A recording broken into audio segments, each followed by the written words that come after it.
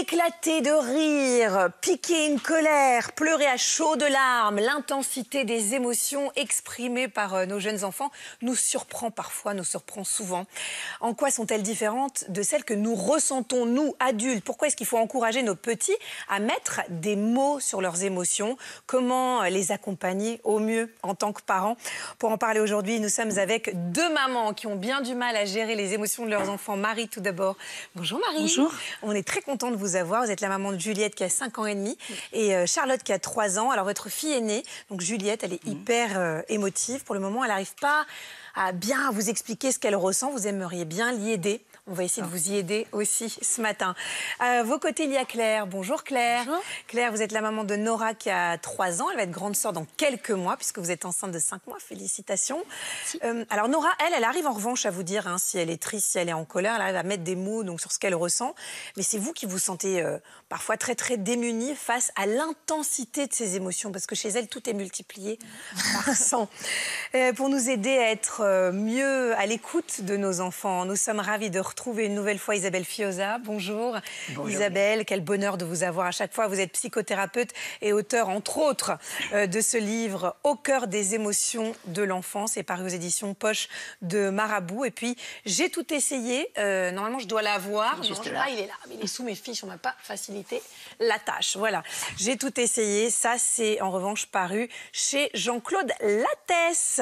Euh, Marie, alors, en quoi est-ce que vous voyez que votre fille de 5 ans est hyper émotive En fait, ça s'exprime euh, au quotidien, que ce soit euh, dans la joie où elle est assez anxieuse. Et euh, ça va être des comportements. elle est toujours très très excitée de. Elle se fait une montagne de tout, un événement qui va arriver. Vous avez un exemple, par exemple, à nous donner qui... Euh, oui, bah par exemple euh, son anniversaire avec les copains. Mhm. Euh, donc forcément, comme tous les enfants, elle l'attend. Elle a, il paraît qu'elle a, elle a vécu la campagne électorale euh, un petit Oui. peu intensément aussi. J'adore cette anecdote. aussi, ouais. Mais en fait, au premier tour, quand elle a vu les résultats euh, du premier tour et qu'elle a vu euh, les- la photo de Marine Le Pen à l'écran, elle a fondu en larmes. Voilà. D'accord. Donc, Elle faisait peut-être un peu d'empathie avec ses parents. Conscience politique précoce. Oui, c'est ça. Euh, à votre avis, quelle est l'émotion qui prédomine chez elle? Alors, c'est une enfant qui est très joyeuse euh, dans, dans- dans son quotidien, dans sa façon de faire avec les copains. Elle a beaucoup de copains à l'école euh, et à l'extérieur, Euh, mais elle est aussi anxieuse. Donc, elle s'inquiète pour un rien, pour, pour son entourage, euh, ses copains, sa famille, sa petite sœur, mais, euh, mais aussi une situation qu'elle voit dans la rue. euh, voilà. Elle peut à la fois donc être euh, pleurer de tristesse de façon disproportionnée, aussi pleurer de bonheur. Oui, Si elle est très ouais, contente. ouais, ouais. Euh, Claire, vous avez une petite fille de 3 ans euh, qui s'appelle Nora, donc est-ce que ça lui arrive de pleurer de joie? Alors pleurer de joie, euh, non, mais par contre, euh, quand elle est euh, contente ou qu'elle veut nous faire un câlin ou elle vient nous, nous serrer, à nous, enfin, à nous en serrer tellement fort qu'elle nous fait mal. Donc du coup, c'est un peu frustrant parce qu'on lui dit bah doucement, il faut faire doucement, et puis bah ça la rend tout de suite triste parce que peut-être qu'elle elle a l'impression qu'on n'accepte pas son son câlin ou et du coup c'est difficile de la Donc toutes ces émotions en fait sont exprimées très intensément, très intensément, trop intensément. Euh, quelles émotions est-ce que vous avez l'impression qu'elle ressent le plus? Bah, ce qui est le plus difficile, je dirais, à, à gérer, c'est euh, plus tout ce qui est euh, tristesse, colère, déception. Euh, cette déception, ça peut être aussi bien déçu par euh, son comportement à elle qu'elle a eu, enfin si elle n'a pas réussi à gérer justement une émotion, mais déception, bah, il y avait quelque chose de prévu, finalement ça se fait pas.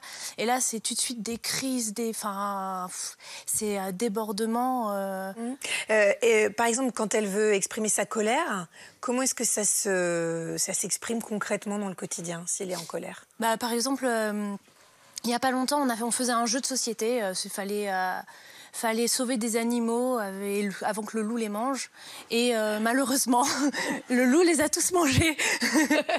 Donc, euh, du coup, euh, là, bah, elle lance les cartes. Elle est vraiment en colère.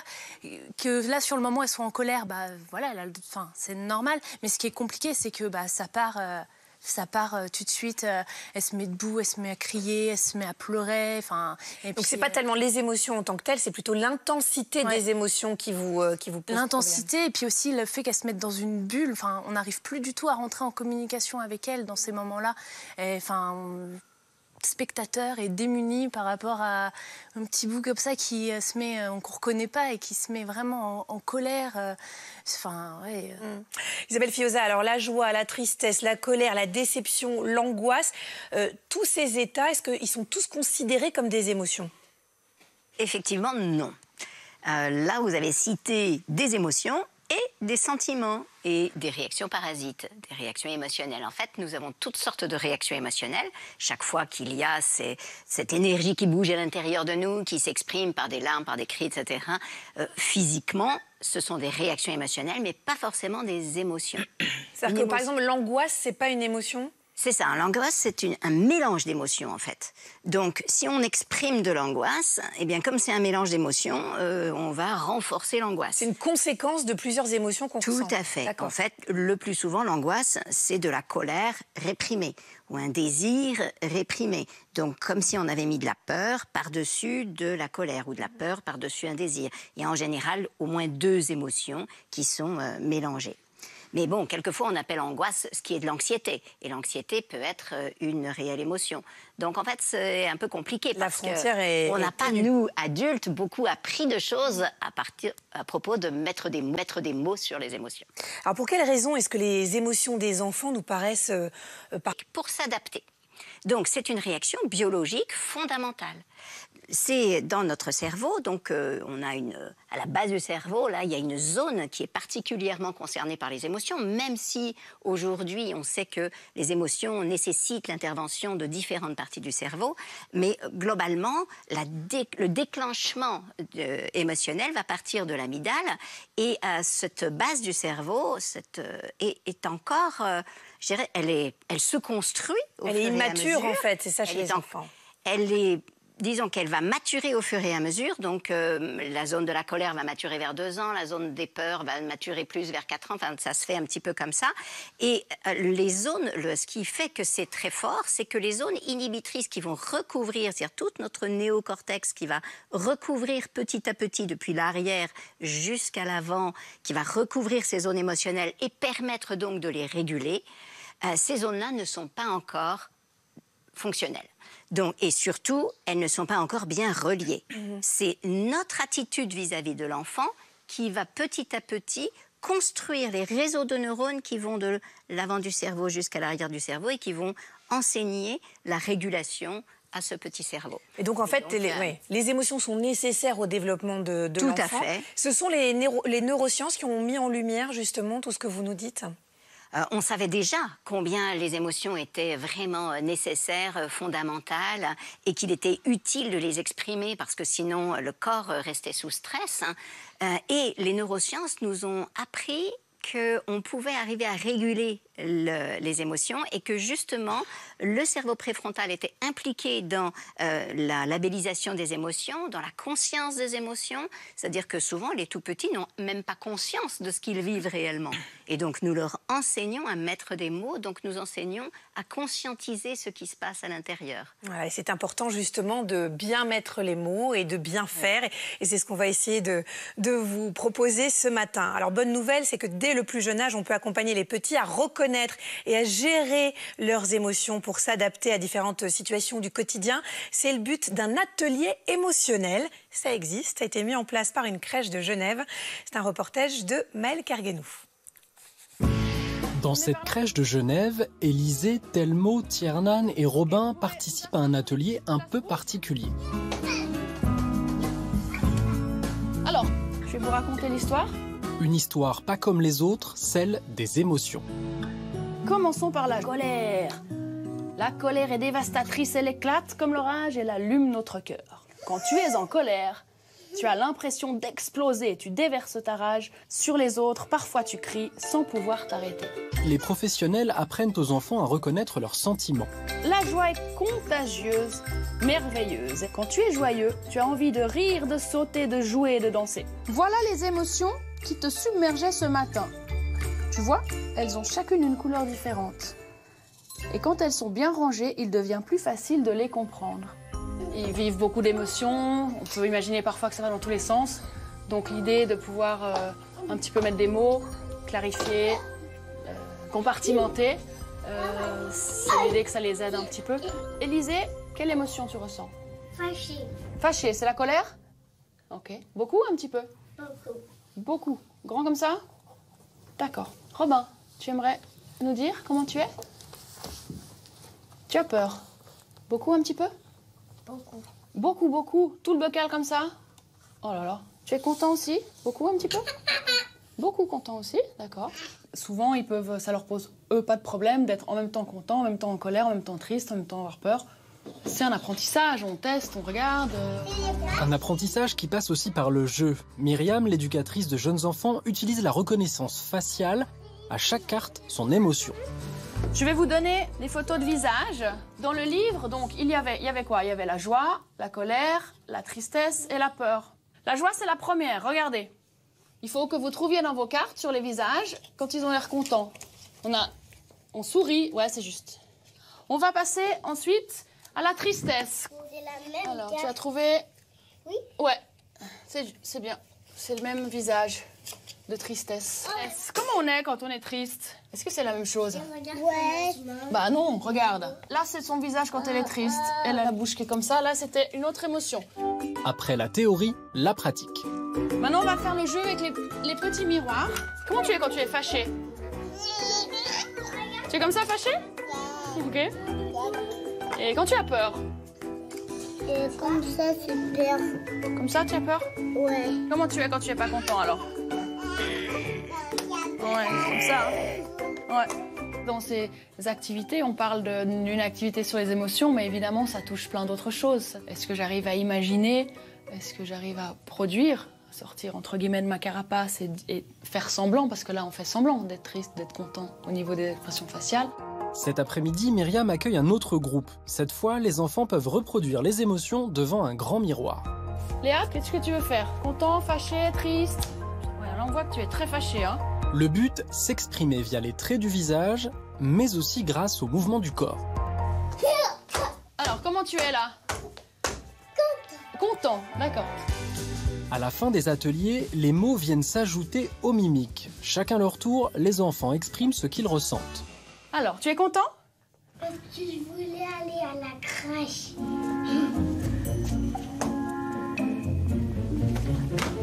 Et tu es triste aussi?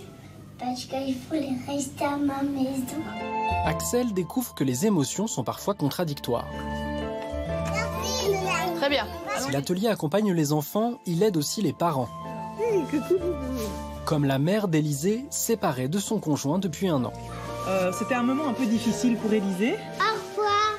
Et euh, c'est vrai que, que comme il était très nerveux, à ce moment-là, et toute la famille un petit peu, du coup, ce travail sur les émotions, ça a vraiment permis de les faire sortir, de les identifier, de pouvoir les nommer. Travailler sur les émotions dès le plus jeune âge permettrait aussi d'être plus à l'aise en société, voire d'améliorer les capacités scolaires. Et on se le disait pendant le reportage avec euh, les filles, c'est vrai que c'est tentant de faire ça avec ses enfants, finalement, de montrer des photos euh, ou des bouquins, parce que c'est ludique, et puis eux, ça leur plaît. Euh, pourquoi est-ce que c'est si important, Isabelle Fioza, de bien identifier les émotions de ses enfants? Alors, c'est utile d'identifier, de savoir identifier les émotions de nos enfants parce que les émotions expriment ce qui se passe pour eux et euh, nous pouvons du coup être davantage empathiques et les accompagner dans leur cheminement. C'est aussi important parce que du coup, on va les aider à apprendre à réguler les émotions. Les émotions sont des réactions naturelles et utiles face aux situations. Ça permet, être triste permet de vivre la séparation, euh, être en colère permet de se réparer d'une blessure. Bref, chaque émotion a une fonction, mais quelquefois l'enfant, euh, ben, il est tellement envahi par ce qui se passe à l'intérieur de lui, il a vraiment besoin du cerveau de l'adulte pour l'accompagner. Mais nous, si on se trompe d'émotion, c'est que par exemple, on croit, on, on le voit euh, euh, comme ça, Ouah et donc, euh, et puis on lui dit tu es fâché, tu es en colère, et donc là il va augmenter encore parce qu'en réalité c'était pas de la colère mais du dégoût par exemple. Donc si on se trompe d'émotion euh, en lui nommant, ça va exagérer sa réaction On émotionnelle. appuie là où ça fait mal. Euh, Marie, votre petite fille, est-ce qu'elle arrive quand même de temps en temps à verbaliser ses émotions comme le font les, les enfants dans le reportage ou pas du tout? Pas vraiment. Alors, elle, euh, elle sait dire qu'elle est triste euh, ou qu'elle est euh, joyeuse quand, euh, quand elle pleure ou, ou qu'elle est contente, mais ça va pas au-delà. D'accord. Euh, Et vous, vous essayez de, de- Vous avez tenté des choses pour l'aider justement à les exprimer c'est... Alors, on Ces essaye de beaucoup discuter avec elle. Mhm. Là, j'ai mis en place un petit rituel avec elle tous les soirs parce que justement, elle a du mal à, à nous confier des choses, à s'exprimer. Donc, pour essayer de décortiquer sa journée, on va dire, euh, avant le coucher, j'ai mis en place une petite question secrète. Donc, Ah. tous les soirs, elle me pose une petite question secrète. Euh, voilà, est-ce qu'on va mettre le, le doigt sur une question justement où on va pouvoir en discuter et, euh, et décortiquer ce genre Ça de peut choses être par exemple la question. se- Une L'autre question... jour, elle m'a demandé comment les cloches déposaient. Ah oui, ça Là, peut on est dans la mouise. Ça peut être tout et n'importe quoi. Elle a- vole comment alors? Comment te ça. dire?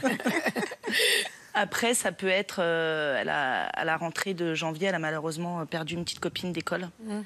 Euh, donc voilà, donc elle m'a longuement posé des questions. euh, Là, pour le et coup, c'est euh, revenu l- longtemps après, en Mm. fait. Pour accompagner les, les- les émotions, là, pour le coup, euh, Là, il faut était- être sacrément présent. dedans, ouais. Et alors, vous, en tant qu'adulte, est-ce que vous arrivez, vous, à nommer vos émotions à vous? Est-ce que vous arrivez? Ouais. C'est vrai que pas toujours. Euh, Il y a des périodes où, euh, je vais être euh, très nerveuse, euh, très, très énervée tout le temps. Par exemple, l'année dernière, j'ai traversé une période un peu difficile au niveau de mon travail. Et, voilà, le matin, avec les filles, il fallait que ça aille très vite à la maison. La moindre chose m'énervait. la moindre chose qu'elle pouvait faire, qui n'allait pas dans le bon sens, ça pouvait m'énerver. Et un jour, en fait, j'ai été renvoyée euh, à, ma, à ma propre image, où je me suis énervée pour rien. Et je me suis dit, mais en fait, euh, bah, le- la cause de tout ça, c'est euh, c'est euh, le nœud euh, Oui, pour oui. aller au travail. La difficulté de canaliser vos propres Voilà. émotions. Et finalement, c'est les filles qui prennent pour pas grand-chose, quoi. Vous inquiétez pas, je crois que c'est partout pareil. Isabelle Fioza, qu'est-ce qui se passe quand le parent réprime ses propres émotions et celles de ses enfants? Eh bien, exactement ce qu'on vient d'entendre, c'est-à-dire si nous ne reconnaissons pas nos propres émotions face aux situations diverses et variées, du coup, on se met sous tension et on accumule du stress. Et ce stress, au bout d'un moment, devient euh, rage. hein. Et à cette rage, on va avoir les réactions de stress, soit d'attaque, hein, soit de fuite, hein, soit euh, d'immobilisation, de tension. On reste sous pression. Alors du coup, concrètement, là, le matin, on est énervé parce qu'on a des problèmes au boulot. Qu'est-ce qu'on fait en tant que parent? On nomme ses propres émotions? On le dit Oui, On les que, partage? euh, là, quand on est énervé, on n'est pas dans une émotion. Mhm. On est dans du stress, on est dans un paquet d'émotions. Donc, il vaut mieux, au lieu de commencer à nommer, puisqu'il n'y a rien à nommer pour l'instant, on est juste. euh, Enfin, je suis stressée, j'ai un trop gros paquet d'émotions à l'intérieur de moi, c'est tout ce qu'on peut dire. Et donc, ensuite, on va respirer, c'est-à-dire prendre des longues respirations tranquilles, euh, s'ancrer, euh, peut-être demander un câlin à l'enfant ou au conjoint, à quelqu'un là. Voilà, on tempère le jeu et ensuite on se pose la question bon, qu'est-ce qui se passe à l'intérieur de moi? Qu'est-ce qui fait que je suis si énervée? Bon, Évidemment, c'est pas simple quand euh, on est le matin et c'est l'urgence, mais en fait, on a besoin de se rappeler qu'il n'y a qu'une seule vraiment urgence, c'est être heureux, Bien aimer. sûr. Et donc euh, voilà, le reste du monde, euh, c'est pas très grave. Voilà, les petits, euh, les- les- il faut arriver à hiérarchiser en fait ces Oui. problèmes. C'est ce qui est le plus difficile. Alors Claire, de votre côté, Nora, elle arrive plutôt bien, elle a à nommer justement ses émotions, à mettre des mots, euh, mais c'est le plus souvent en fait a posteriori, c'est-à-dire après que la tempête Elle arrive à a les passé. expliquer une fois qu'on a réussi à se poser que que le calme est revenu, elle arrive à nous expliquer, euh, à le dire comment elle se sentait, euh, qu'elle est déçue aussi de ne pas avoir réussi. Elle arrive à mettre des mots euh, sur ça, mais pendant, c'est vraiment. euh, elle est- désarçonnant. C'est oui, parce qu'il n'y a pas de prise en fait. Elle est. euh, Comment vous réagissez vous justement quand elle se met en colère? Bah, euh, alors du coup, souvent, elle se met en colère et, euh, et euh, l'élément où il peut y avoir une prise, c'est ça finit souvent où elle se fait mal. Enfin, c'est un retour à la réalité. Soit elle se fait mal, soit, euh, soit par exemple, elle, euh, elle casse quelque chose ou, euh, ou sinon euh, je peux Et aussi vous, alors, dans ces à- cas-là, à- comment est-ce que vous mettre à pleurer moi aussi. Ah, vous, vous craquez Euh, de moi, temps je, en temps bah, moi, oui, c'est- je- Pourquoi est-ce que vous pleurez, à votre avis? Parce que ce qu'elle renvoie, c'est difficile et aussi, bah mince, je suis sa maman, mais j'arrive pas à trouver les mots pour la rassurer, pour euh, que ça s'apaise. On est obligé d'arriver jusqu'au jusqu'au bout. Enfin, j'ai l'impression qu'on arrive jusqu'au bout. Une Vous êtes qu'on vous-même est au une bout, hyper émotive Oui, ouais, je suis très, je suis très émotive aussi. La Et, grossesse euh, ne doit pas arranger euh, vos petits problèmes. non, Et est-ce que vous, vous arrivez à aller jusqu'au bout aussi de vos fureurs, de vos rages? Bah, euh, euh, Est-ce que vous vous laissez aller? Euh, J'essaye euh, la plupart du temps d'être, de rester calme, de. Ah, Face à votre enfant, oui, mais, Mais, je dirais ailleurs dans votre vie. Et vis-à-vis de vos propres parents, est-ce que vous avez osé aller jusqu'au bout? Je suis plutôt euh, quelqu'un de réservé, de Voilà, calme voilà. Et, euh, et de posé. Donc c'est vrai que ce qu'elle me renvoie, c'est difficile parce ça. que. Elle ne vous le renvoie pas, mais Oui, mais je le en prends le en tout voyant, cas. oui, c'est ça. Alors, quel conseil on peut donner à Claire pour accompagner au mieux Alors, sa je donne fille jamais de conseils. hein, Ah oui, c'est vrai, j'avais oublié, j'avais oublié. Mais donc, euh, ben, regardons un petit peu ce qui se passe. Déjà, euh, pour cette petite fille, elle vit quelque chose de très intense. Elle est probablement une enfant tactile. Une enfant tactile, c'est une enfant dont le système sensoriel principal est tactile, c'est-à-dire qu'elle est très motrice, elle bouge, elle a besoin de faire des choses. C'est vrai que si nous, on n'est pas tactile en face, on est un peu euh, impressionné de cette intensité, parce qu'ils peuvent être brutaux, violents, mais le fait qu'elle s'arrête hein, quand elle se fait mal, quand elle, quand vous dites euh, contact avec le réalité, c'est en fait contact. Donc, ça nous donne une clé pour l'aider. Mais peut-être on a besoin de laisser effectivement l'émotion passer. C'est-à-dire qu'on a une perception de l'émotion qui est erronée. On croit que l'émotion, c'est pas bien, qu'elle est en train de souffrir quand elle hurle. En fait, quand elle hurle, quand elle bouge comme ça, elle est en train de se libérer de la tension. Sinon, on reste réprimé, on reste sous tension. Donc, notre objectif n'est pas qu'il reste sous tension, mais c'est de lui permettre de traverser ça on veut lui permettre de le traverser sans se faire mal. Donc du coup, on va lui enseigner des trucs, des trucs physiques. Alors, on peut lui dire, une chose que tu peux faire, c'est taper des pieds quand euh, tu es euh, euh, furieuse. Une chose que tu peux faire aussi, c'est sentir ta puissance. Je vous propose un petit truc. Je veux bien Eh sentir ma puissance, moi. hein, Voilà, donc là, vous êtes une petite fille très Ah. en colère et vous avez appris la technique et je vous montre ça. Et donc, vous allez faire Ah, je fais euh, 5 comme cailles. ça. Personne Voilà, connaît parce que je suis trop. Attention. Là, je dois faire catcher ou Voilà, alors Attention. nous, si c'est un papier autre que papier journal, on fait un tout petit truc comme ça pour être sûr que ça fait pas mal. Attention. Dans les yeux, Oh voilà. Ah, je me sens mieux. Sauf que vrai, c'est là, elle se sent pas suffisamment mieux parce qu'elle n'a pas crié. Ah, j'aurais pas vu que je fasse un petit cri. important de crier en même temps, mais c'est vrai, on est à la télévision, etc. Bah, Il y a mon image le quand même, réel, Isabelle. euh, Bon. Sur le réel, on a besoin de pouvoir, un enfant a besoin de crier. Donc, en fait, on va fournir à l'enfant des. Ça marche aussi pour les enfants pas tactiles, hein, mais encore plus pour ceux qui sont tactiles. Mais c'est important de mesurer que l'émotion a besoin de d'être traversée à l'intérieur du corps. Et oui. C'est le corps qui bouge. Donc, taper des pieds comme ça, on se fait pas mal. Faire le ninja, il y a toutes sortes de petits outils comme ça qu'on peut proposer à l'enfant. Et ce qui est très important dans ce que vous dites aussi et qui va, à mon avis, aider les parents que l'on est, c'est que finalement, on, projette trop ses propres émotions euh, avec celles de ses enfants, mais pas ce, qu'ils ressentent, mais pas ce que l'on ressent à tête égale, en fait. Donc ça, ça, ça. ça devrait nous aider. Ah, bah Marie Perarno est là. quelle Bah, tiens, bah, surprise. quelle belle surprise. Bon, ça oui. veut dire que c'est fini. OK. Bon, allez-y. Allez, Marie, posez vos questions, Moi, je montrez fais- vos livres. Je monte mes livres. Je commence par mes livres. Le Parfois, je me sens, qui est un petit livre qui exploite sur chaque page une émotion grâce au visage du petit singe. Voilà. Il dit ce qu'il ressent bonheur, tristesse, Ah, colère, là, c'est les sentiments, hein. culpabilité. Mince. Ah ouais, non, Marie, soyez précise. Oh, les hein. sentiments, les sensations aussi, voilà. Alors, il y a Voilà, un peu de tout. de Ça, c'est accessi- accessible, pardon, dès les tout petits, enfin, pour les tout petits. Regardez Je Allez-y. vais pas le garder, je vais de toute façon Oh, à mes invités. Ne regardez pas avec cette terre, hein, Cette votre regard numéro 24. collection, Vous la connaissez bien. Anémone, l'oursonne est en colère. C'est un livre qui raconte l'histoire d'Anémone, la petite oursonne qui est en colère car sa maman a refusé de lui acheter des sucettes au miel. Ça, c'est fort vilain. Elle finit par évacuer sa colère accompagnée par sa maman grâce à des petits exercices de respiration. Voilà. Il y a une double page à la fin qui expliquera aux parents comment justement aider l'enfant à évacuer sa colère. Ça, c'est pour vous, à mon avis, euh, Marie. Prenez ça, ça sera pas mal. Si. Et celui-là, vous le connaissez, Isabelle? Pas de surprise. Plutôt pour les enfants à partir de 5 ans, vous me confirmez? Oui, mais dès 3 ans, finalement, notre expérience montre ça. C'est vrai. Ah, voilà. Et bon ben voilà, c'est 100 pages d'activité pour aider son enfant à devenir maître de ses émotions. L'enfant est acteur dans ce livre. Il peut dessiner, répondre à des quiz, relier des dessins à ses émotions. Et le parent n'est pas en reste puisqu'il y a quand même 25 pages environ d'explications. Il y a même un petit diplôme pour l'enfant qui a bien appris à gérer ses émotions. Il est super. Si personne ne le prend, je... Voilà. Ouais, c'est sympa pour nos invités. Marie, bravo, Mais c'est beau, c'est beau. Ah, l'altruisme.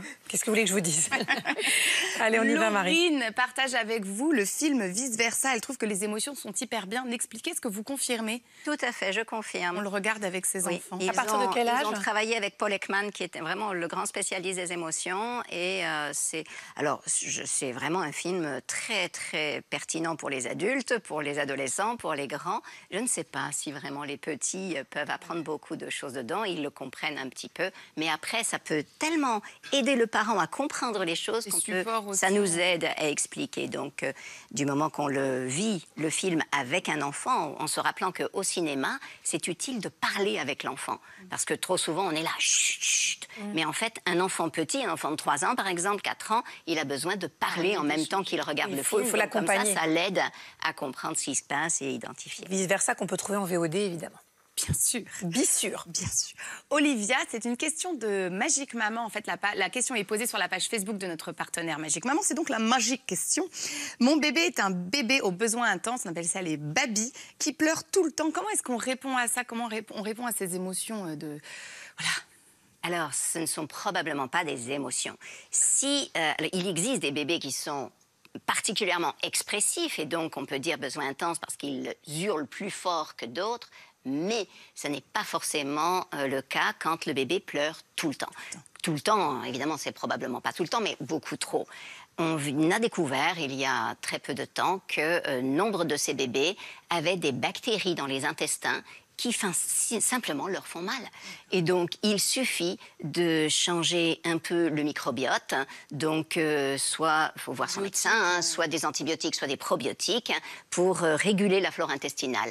Nombre d'enfants qui sont nés par césarienne, ou bien dont la maman a pris des antibiotiques euh, juste avant, ou bien qui eux-mêmes ont dû prendre des antibiotiques pour des raisons, une raison ou une autre, donc ont une flore bactérienne perturbée.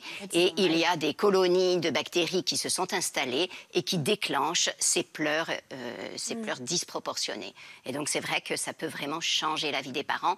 Arrêtons de croire que tout ce qui est cri est émotionnel, surtout pour les tout petits bébés. Un cri exprime un besoin. Et pour les plus grands, Déborah, son fils de 4 ans, insulte automatiquement quand il est contrarié. Merci l'école, dit-elle. J'ai déjà essayé plusieurs méthodes pour lui faire comprendre qu'on ne dit pas de gros mots. Comment faire pour qu'il cesse, pour qu'il s'exprime autrement? Eh oui, l'école. hein. Donc, euh, c'est deux choses possibles. Une chose, c'est que quand il entend ces insultes, ces injures à l'école, ça lui fait mal dans son cœur. Donc, du coup, il les redit pour pouvoir s'en libérer. Donc, si c'est ce cas-là, on a besoin de prendre un petit temps avec l'enfant pour lui demander qu'est-ce que ça te fait dans la cour de récré quand tu entends ça? Qu'est-ce que ça te fait quand il y a un autre enfant qui dit ça? Et comment tu pourrais répondre? Donc, euh, l'aider à définir qu'est-ce qu'il ressent, à décrire ce qu'il ressent et se libérer de son sentiment. Sinon, si c'est juste du jeu comme ça, parce qu'il l'a entendu, il le répète sans que ça lui fasse vraiment mal, eh bien, on peut faire des jeux. Soit on peut lui dire, euh, Ah ben ça, c'est des mots qu'on dit dans la salle de bain, ou alors on lui enseigne des mots. Donc, on peut lui enseigner des insultes. On lui dit, il y a une insulte qu'il faut jamais, jamais dire, hein, parce que c'est vraiment trop scandaleux. Et donc, euh, il faut surtout pas le dire. Tu me promets, je te le dis en secret, parce qu'il faut surtout pas le dire. Et ensuite, on lui dit, euh, c'est euh, bachibouzouk, ou alors ça perd les popettes. Enfin, on lui- on- voilà, on Ça, lui ça enseigne un truc. Et du coup, il va adorer ça. Et sans, dès qu'on va avoir le, ça perd les popettes, ça perd les popettes, il va dire le mot, voilà, parce que c'est le côté. Qu'il a besoin Et oui, en fait, le- les insultes déclenchent une réaction intéressante chez les adultes. Et voilà, c'est. Ils provoquent Du un coup, peu. Ils, euh, ils le refont parce que c'est, il se passe quelque chose. Sarah Lou a une petite fille qui adore son nouveau petit frère, mais depuis quelques jours, elle se met à chouiner, elle refuse de parler, elle réclame de goûter son lait, veut qu'on lui donne la béquée sur les genoux. Comment est-ce qu'on réagit à ce, voilà, le, le- probablement une petite jalousie ou une- un besoin de régression pour Marie, vous avez vécu ça avec euh, Juliette hein? Ouais, alors avant l'arrivée de la petite sœur. Ouais, c'est ça. Oui, mais elle avait quel âge? Elle avait, euh, elle avait, elle venait d'avoir deux ans. Deux Ça a été au tout début de ma grossesse. D'accord. Et pendant deux mois, elle a refusé d'aller se coucher. Mais elle chouinait? Euh, bah, forcément, la fatigue entraînait euh, Oui, c'est ça. des pleurs, des fatigues. Mhm. Donc, euh, chouiner, c'est vraiment un comportement assez typique des enfants de 5-6 ans, de 5 ans. À partir de 4 ans, quoi, ils vont beaucoup euh, chouiner et euh, ça, parce qu'ils sont en train de commencer à réguler, à moins exploser. Et donc, ça sort en chouinerie, ça exaspère les parents, mais c'est, vraiment, ça fait partie du processus. Là, elle euh, chouine et elle régresse dans le sens où elle veut donc faire comme le bébé, recevoir comme le bébé. Et donc, c'est pas tant le mot jalousie, il est un peu connoté, mais euh, on peut mesurer que peut-être l'enfant a peur peur d'être moins aimé. Et euh, ça, c'est une des dimensions. Donc, du coup, ça, on va, on va vraiment être attentif à lui fournir l'amour, mais avant de lui fournir, comme avec toutes les émotions, on va d'abord écouter. On explique trop aux enfants. On veut trop le rassurer en disant Oh, ben, euh, tu, tu sais, voilà, je t'aime beaucoup, tu sais, le cœur d'une maman, ça grandit en même temps que les bébés. Enfin, bon, bref. Donc, euh, on essaye de rassurer, et plus on rassure, il garde l'émotion en dessous et en- la rassurance au-dessus. Donc, il se, il se met un sourire, mais au fond, ça fait mal. Donc, du coup, ça va pas du tout. Donc, euh, autant leur faire dire.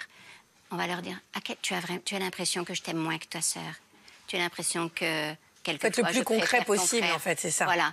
Dis-moi. Mm. Dis-moi comment, dis-moi ce que ça te fait dans ton cœur. On a besoin de faire sortir un petit peu tout ça. Et puis il y a aussi l'imitation, hein, c'est-à-dire qu'à partir du moment où le grand voit le petit recevoir quelque chose, ses neurones euh, se, se calent, son cerveau se cale dessus, et donc il a aussi besoin de l'expérimenter. Mais la plupart du temps, il demande à téter le sein, par exemple, et puis ça lui plaît pas, donc il arrête. Voilà. Isabelle Fioza, j'ai une proposition à vous faire. Voulez-vous vous installer chez moi? Non, Je vous assure, c'est assez sympa. On est une famille plutôt sympa. J'adorerais.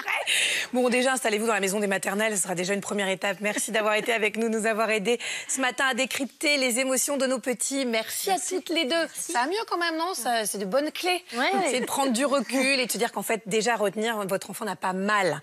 Voilà, s'il n'a pas bobo au ventre, voilà, il se défrustre, il décharge.